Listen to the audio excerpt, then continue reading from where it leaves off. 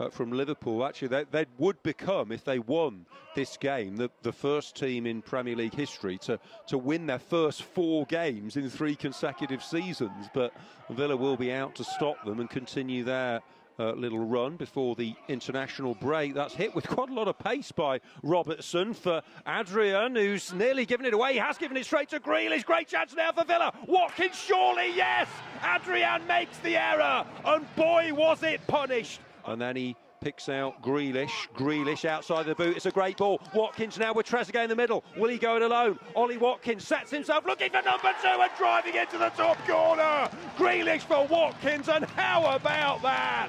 In a difficult position. Was there a foul there? Referee? No, nothing given. Here's Jota now. Jota for Liverpool plays the pass, tries to bring it under his control. There does Cater, and it's Mo Salah who's Here's the corner kick taken by Barkley, headed away, and the shot through a ruck of bodies takes a deflection and in. John McGinn, he'll be claiming that.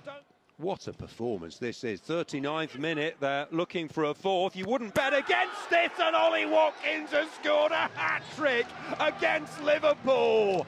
Oh, yes, deadly. Villa hunting their first goal of the second half. Grealish for Barkley. Barkley's going to pull the trigger here, takes a deflection into the corner. It is five. Here now come Liverpool. Ball spotted for Salah. Salah, who should score and does. They've got another one back, and Salah has his second of the night.